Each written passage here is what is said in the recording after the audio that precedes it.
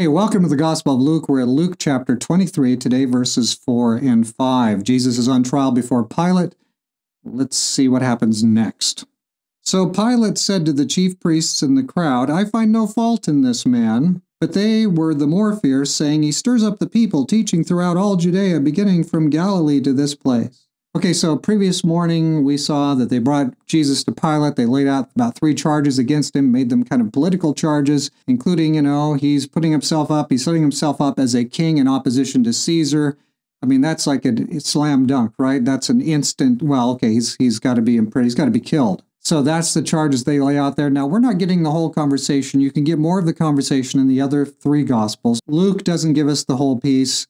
In fact, none of them really give us the whole thing. They all give us pieces. Uh, John, there's some very interesting business in the Gospel of John, which one of these days we'll do as a, a devotional series. Right now, what we just have is Luke, so we don't get the whole story, but there's some questioning that happens. But when it's done, Pilate says, I find no fault in this guy. You know, we're done here. There's nothing to do. So he thinks in that moment. And they they're very stirred up now, and they're gonna they're gonna not let this go. They are determined to kill Jesus. Interesting how on the first pass, because there's a couple of other passes here, but on the first pass, Pilate says, ah, I see through this. There's a wrong thing going on here. No, I, I'm letting him go. Interesting how a godless pagan uh, Roman political guy, power guy, he sees through this and he's not going to he's not going to go for this at least initially. Unfortunately, he has a weakness of character which will become very evident before we're done here with this whole sequence. I like what I see. I mean, Pilate recognizes this guy's been set up.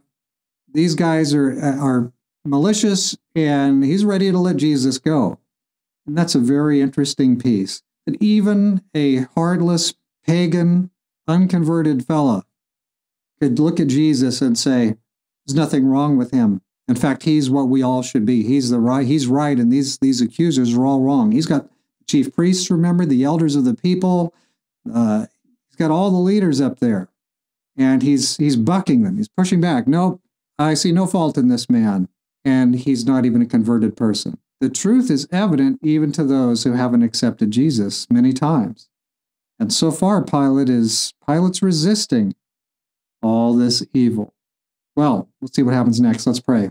Dear Father in heaven, Lord, we are thankful for this uh, this inclination to let Jesus go, recognizing that these charges are malicious, and so we're thankful for that. Uh, we know the rest of the story, but we still are thankful for that. We're thankful for every glimmering of of conviction, every glimmering of doing what's right, even in hearts that are not surrendered fully to you.